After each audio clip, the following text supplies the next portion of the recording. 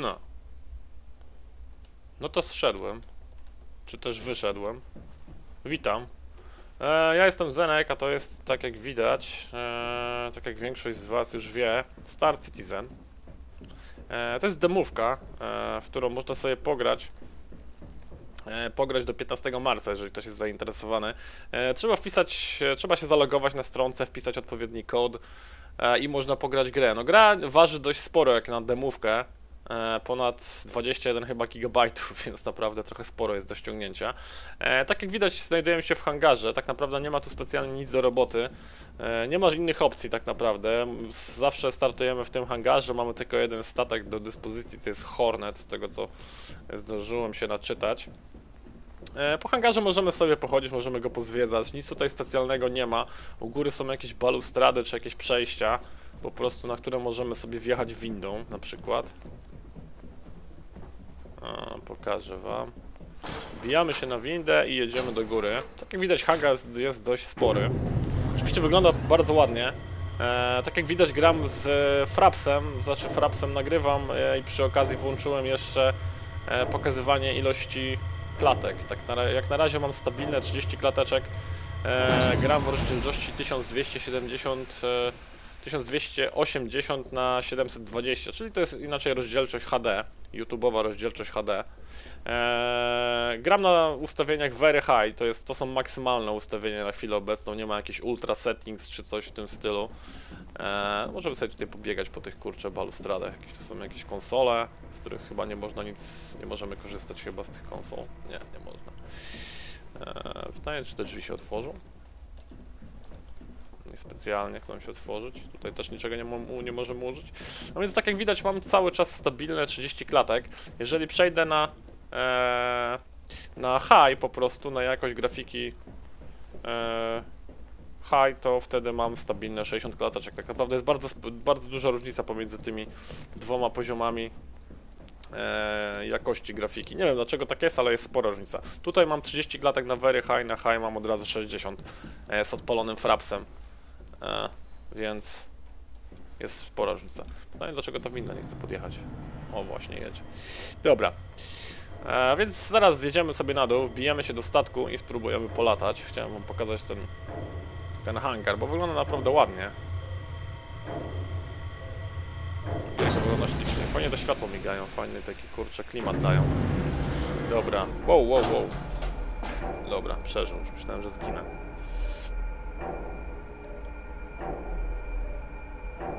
Ja, posłuchajcie, tego, to, by- to będzie faza po prostu. Będzie taki klimat gierka. To będzie tak zrobione. no nie ma co się dziwić, gra z budżetem, budżetem, który ma, nie wiem, 100 ileś milionów chyba już teraz, czy coś takiego. A więc no ta gierka będzie pełnym wypasem. No, szkoda tylko, że jest taka droga, Chryste. Oni sobie kasu, winszują sobie tyle hajsu za wszystko, że dosłownie masakra. Jakiś ten podstawowy moduł z hangarem kosztuje chyba 60 dolarów, czy, czy coś, czy 60 e- euro. Nie znam cen, ale znaczy dokładnych, ale z tego co pamiętam, jak oglądałem jakiś czas temu, to ceny są zabójcze, że tak powiem, za tą grę. Dobra, wbiliśmy sobie do kokpitu. O, zajebiście to wygląda. Yeah. Dobra, odpala nam się jakieś menu. No i możemy wybrać. Mamy tylko do wyboru Drone Sim, czyli symulację z dronami, nie ma wersji multi. Chyba. Tutaj mamy dwie planetki do wyboru, mamy, czy też dwie mapy powiedzmy, dwa scenariusze. Mamy tak, Dying Star, czyli umiera, umierającą gwiazdę i Broken Moon. E, A tutaj możemy sobie wybrać Vandal Swarm albo po prostu Free Flight, czyli latamy sobie od tak, albo walczymy chyba z jakimiś botami. E, ja wiem, może wybiorę po prostu pojedynki z botami i przy okazji tam sobie coś poglądamy jeszcze. Na początek co?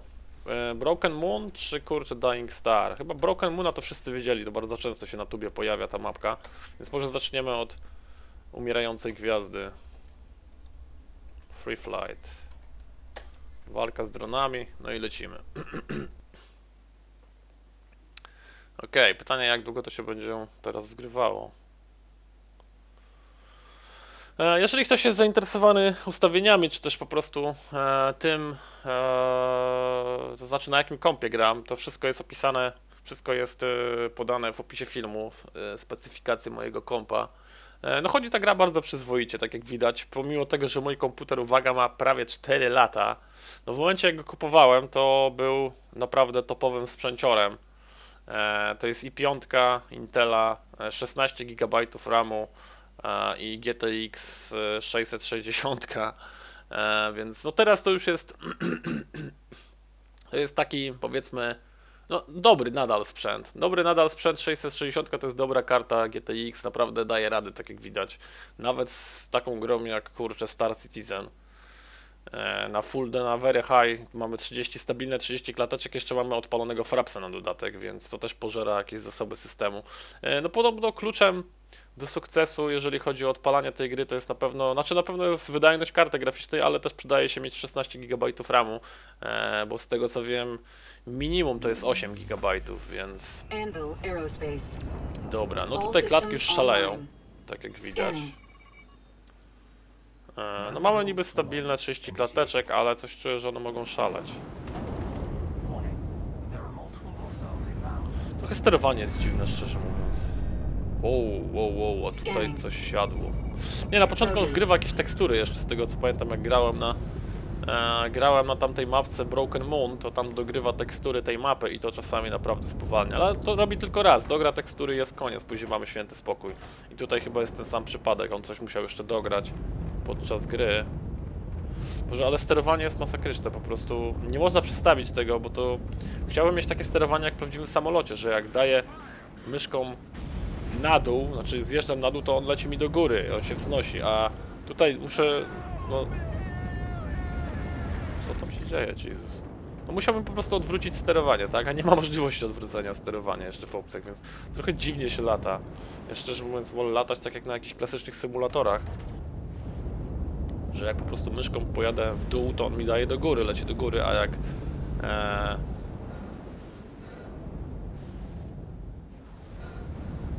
No dobra, widzę, że przeciążenie koleś jakieś już ma. Ciężko dyszy. Wow, wow, ale go kurczę zamówiło. Jest tak, można widoki sobie przyłączać. Zobaczmy tak. Polećmy do tej kurczę umierającej gwiazdy.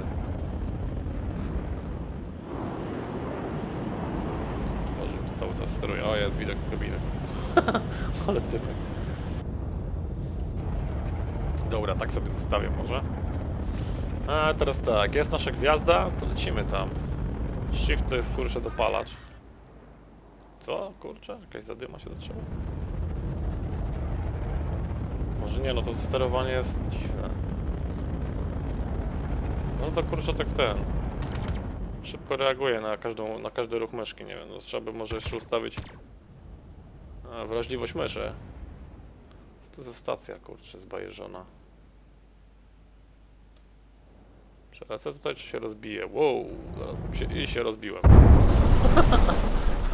Captain Zenon was killed. Okej. No to respawn. Gdzie nas skurcz? Zrespawnowało. Press X to respawn, okej. O! Aha, to ja widzę teraz innych pilotów, okej. Można sobie pooglądać, co tu się dzieje, po to się chłopaki ze sobą. O, jak fajnie klatki podskoczyły. Teraz pełne 60 klateczek. Dobra, zrespawnujemy się chyba. Anvil Aerospace.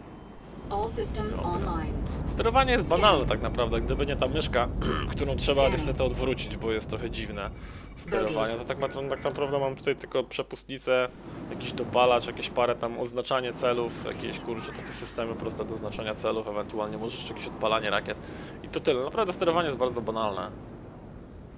Jakieś kurczę zmiana kamery i tak dalej. Bardzo proste, ciekawe czy uda się dolecieć do tej kurczę gwiazdy. No nie da się dolecieć, bo już kurczę doleciałem do granicy. E, symulacji.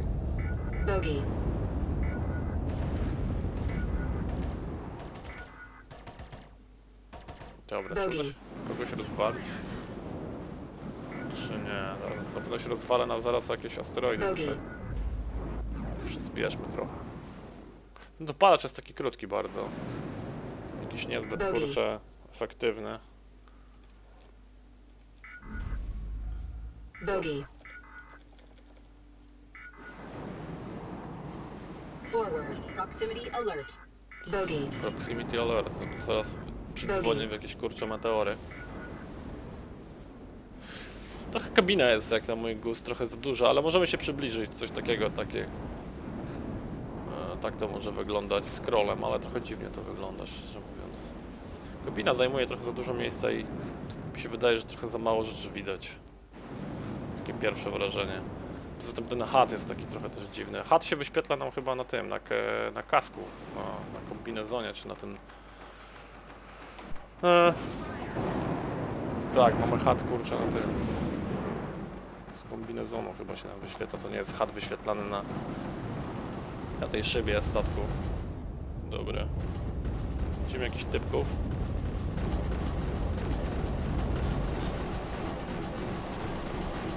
Przeciążenie dostaje ten gość? Wow, rzeczywiście trudno. Się tym lata. Forward. Proximity alert. Ja ci tam proximity alert, kurczę hit. Wow, wow, wow, wow. Ła- Łapałem. Seriously? Trochę to trudne do ogarnięcia na początku.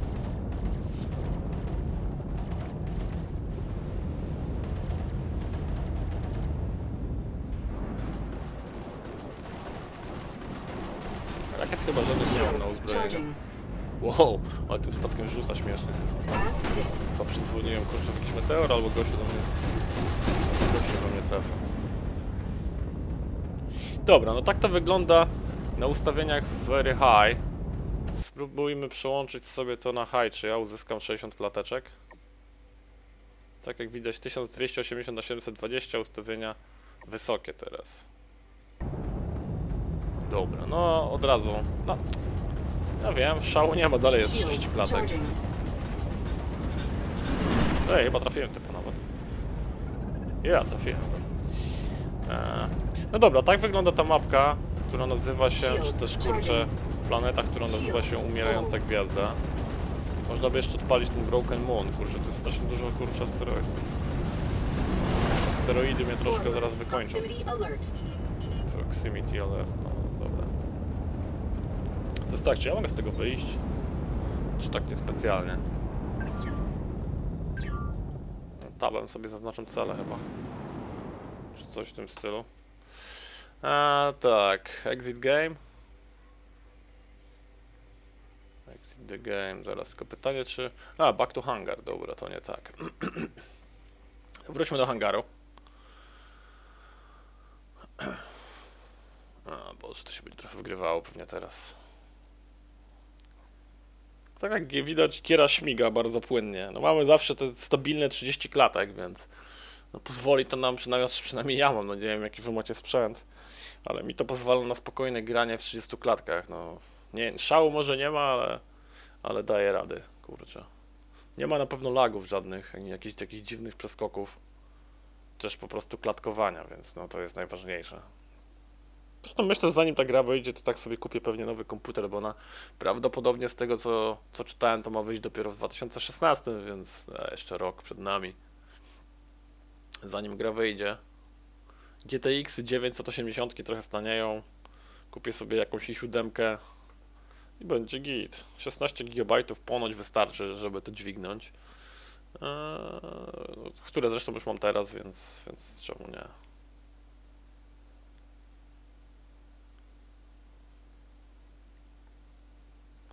No, come on, mogłoby się uruchomić. Dobra, jesteśmy w hangarze. Okej, jesteśmy z powrotem w kokpicie, więc teraz tak, odpalimy sobie to. A, czy ja wyszedłem stąd, czy co?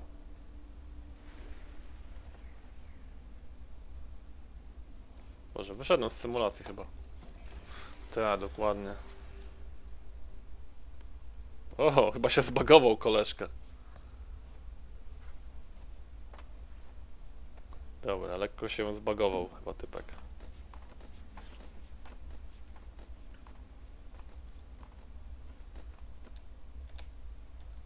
No i mogę się poruszać, czy nie mogę? Okej, mogę się poruszać. Dobra, no to wbijamy jeszcze raz. Skoro nie można odpalić, kurczę, siedząc w środku ponownie menu.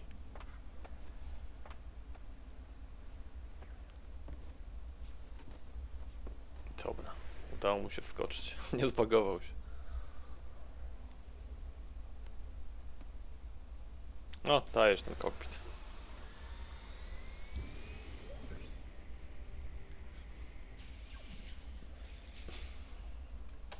Okej, to tak, Drone Sim. Teraz weźmiemy sobie Broken Moon i Free Flight, czyli wolny lot. Nie będę już kombinował. Nie można statku zmienić, niestety mamy tylko jeden tego Horneta. E, Broken Moon wygląda trochę lepiej chyba niż ten kurczę, niż ten Dying Star. Tam jest za ciemno jakoś tak. To jest dość jasno, mamy fajne, fajnie, świetnie ta planeta wygląda, naprawdę. Zobaczycie jakie genialne tekstury są. Naprawdę, wygląda to po prostu mistrzostwo świata. Zajebiście.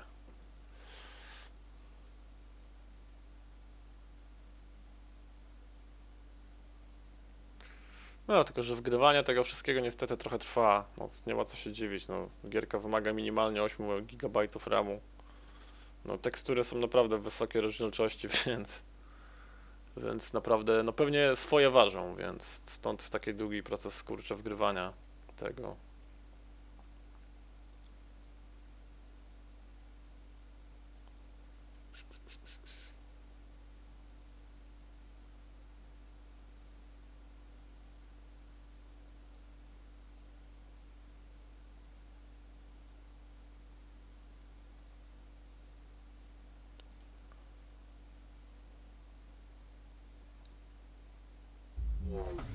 Anvil Aerospace. Jesteśmy. No tekstury jeszcze się nie wgrały planety, tak jak widać jest na razie trochę rozmazana. Zaraz się dogra, bo one są o wiele dokładniejsze te tekstury. I mamy 30 klatek. 50 nawet, wow. Odpalmy sobie silniki. Może jak się ruszę, to te tekstury się naprawią. Czy też dograją.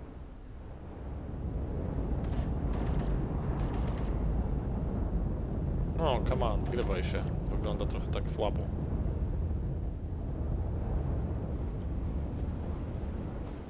Fajny jest model ten latania. No szkoda tylko, że ta myszka nie jest odwrócona.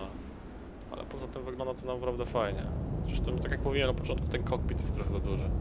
Mi się wydaje. No dobra, mamy te 30 płynnych klateczek, więc nie klatkuje. Jest całkiem spoko.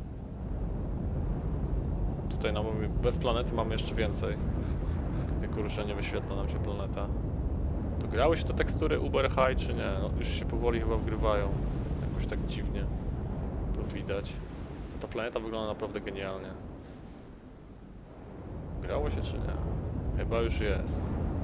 Dobra, rzućcie okiem na to. Wow. Jak będzie na tych planetach można lądować one będą tak wyglądać. No, z tego co czytałem, to e, to producenci mają iść w jakość, a nie ilość, więc tych systemów, kurczę, czy też planet, na których można wylądować, nie będzie dużo, będzie około ich 100, więc cała ta galaktyka będzie naprawdę dość mała w porównaniu do innych, kurczę, takich space simów jak Elitka, e, czy kurczę to drugie, boże jak to się nazywało. Teraz nie pamiętam, ale, ale tam naprawdę tych, tych planet ma być zatrzęsienie. No tutaj, e, no tutaj producenci chcą iść e, w jakość, a nie w ilość na pewno, więc te planety wszystkie będą tworzone ręcznie i to naprawdę ma wyglądać przezajebiście. E, bo tam w tej Felice i tutaj w tych innych kurczę Space Simach te planety są e, generowane za pomocą różnych algorytmów, więc e, tak naprawdę no nie będą jakoś mega dopracowane tak naprawdę. Zresztą Felice jeszcze na tak na dobrą sprawę nie można w ogóle lądować na planetach, to pewnie dojdzie w jakimś tam dodatku. A w Star Citizenie ma być to po prostu dostępne od razu. No, tak, jak, tak jak z tego co czytałem, to planet ma być około 100, na których można wylądować, ale mają być one po prostu zajebiste. No tak jak widać te kaniony, jak to będzie wszystko tak wyglądać i można po prostu będzie się zbliżyć i tam wylądować, to, to będzie jakiś kosmos dla mnie, po prostu. Niestety kończą mi się, kurczę, granice symulacji. Co się stanie, jak tam dolecę? O, straciłem, you died. Eee, serio. Myślałem, że sobie, kurczę, ten odbije się albo coś, to nie. Zginąłem, no, serio. Stand by for reintegration. Dobra, respawn zrobimy. Dobra, to teraz rzućmy okiem na. Kamerki, jak to wygląda. No nie, no ta planeta wygląda zajebiście, dosłownie. I 30 klateczek jest cały czas, nie spada poniżej 30. Wow! Ale to wygląda. O Boże. Jak tam będzie można wylądować na takiej planecie, To będzie kosmos, moim zdaniem. Dosłownie to będzie zajebiste. Nie no, luknijcie na to, jak to wygląda. Na tubie to będzie trochę słabiej wyglądało, ale tutaj to wygląda naprawdę mega. Tuba oczywiście trochę zmniejsza bitrate filmików i jakość jest trochę gorsza. Jesteśmy z powrotem w kabinie.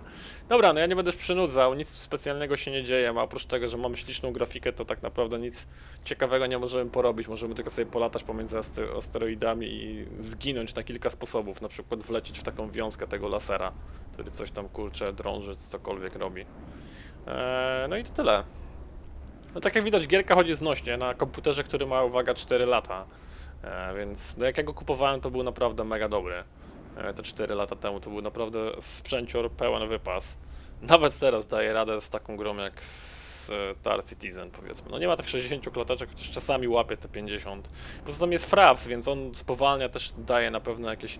E, no bo to ewidentnie widać, jak Frapsa uruchamiam, że gra spowalnia. Więc przez Frapsa tracę co najmniej jakieś 10 klatek, więc bez Frapsa miałbym te 40 klatek na pewno. No ale nawet z Frapsem odpalonym w tle można sobie spokojnie pykać i jest, jest całkiem fajnie. Dobra, ja będę kończył, dzięki wielkie. Eee, Ja do Star Citizena na pewno wrócę, może nie kupię go jeszcze zbyt szybko, bo on jest piekielnie drogi, ale, ale no, w momencie premiery to na pewno go sobie zafunduję i będę go po prostu Będę w niego gierczył. No chciałem grać falitkę, ale jakoś, no... Najgorsze jest to, że nie można go po prostu, że nie ma go na Steamie, no Chryste, żeby on był na Steamie, to ja bym go sobie kupił i tyle, ale on jest możliwy tylko do kupienia bezpośrednio u producenta gry i tam trzeba bawić się z Paypalami i tak dalej, ja troszkę Paypal mnie nie bawi, więc trochę zrezygnowałem. Poza tym, no, no ta elitka trochę mnie zawiodła jednak, bo przez to, że, że, że te wszystkie lądowania na, na planetach i tak dalej, te wszystkie rzeczy takie zbajeżone będą w jakichś tam dodatkach, to trzeba będzie wydać jeszcze tak naprawdę masę hajsu na elitkę, żeby ona była jakaś fajna i trochę bardziej grywalna, bo tak, tak naprawdę tam nie ma dużo do roboty w tej elice. No, możemy być jakimś piratem, możemy handlować tak naprawdę jest to mega nudne, tak na, tak na Boże, na dobrą sprawę. No bo nic tam nie ma do roboty. Pogramy w tą grę ile? Tydzień, dwa tygodnie, kupimy sobie jakiś najlepszy statek i tak naprawdę nie mamy co robić. No co mamy? Dalej handlować i zdobywać jakiś hajs, gromadzić nie wiadomo po co, na co i, i dlaczego? To trochę jest bez sensu. Tak naprawdę zostanie tym piratem, z tego co oglądałem tam na filmikach, też jest takie dość kurcze nudne i banalne, szczerze mówiąc. Możemy polować albo na boty, e, albo po prostu na ludzi, ale tych ludzi tak naprawdę jakoś tam specjalnie dużo nie widziałem, żeby jakieś te bounty na nich były. A więc głównie polujemy na, bo na boty i tego PvP nie ma, a w sumie na tym mi najbardziej zależało, żeby po prostu walczyć z innymi kurczę graczami, a nie z botami, no, bo to trochę banalne i nudne jest tak naprawdę. Więc tak, tak się ma Elitka, tak się ma w sumie Star Citizen. Dobra, ja będę kończył, dzięki wielkie. No i do zobaczenia w innych filmikach i oby kurczę Star Citizen jak najszybciej wyszedł i był po prostu jakiś zajebisty. Dobra, dzięki, na razie, hej. Woo.